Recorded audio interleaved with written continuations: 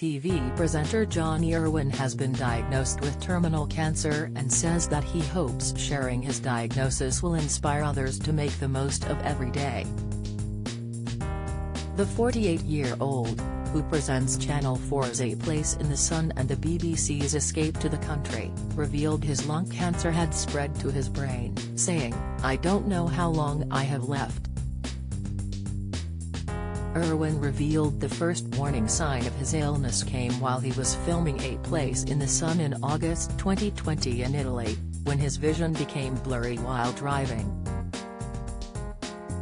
Within a week of flying back from filming, I was being given six months to live, he said. I had to go home and tell my wife, who was looking after our babies, that she was on her own pretty much. That was devastating. All I could do was apologize to her. I felt so responsible.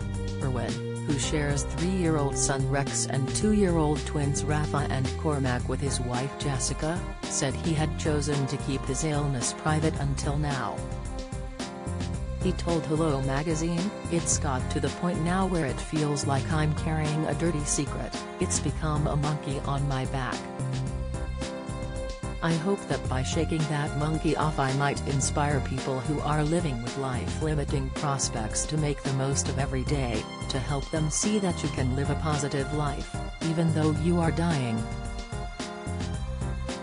One day, this is going to catch up with me, but I'm doing everything I can to hold that day off for as long as possible.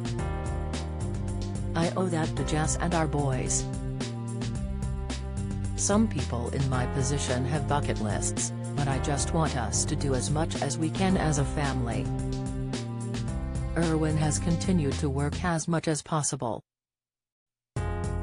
He said, I don't know how long I have left, but I try to stay positive and my attitude is that I'm living with cancer, not dying from it. I set little markers, things I want to be around for, I got into the habit of saying don't plan ahead because I might not be well enough. But now I want to make plans. I want to make memories and capture these moments with my family because the reality is, my boys are going to grow up not knowing their dad and that breaks my heart. The TV presenter is also encouraging people to take out life insurance. He added, that has helped so much and when I leave this planet, I'll do so knowing Jess and the boys are in a house that is fully paid off and there's a bit of money in the bank for them to live off.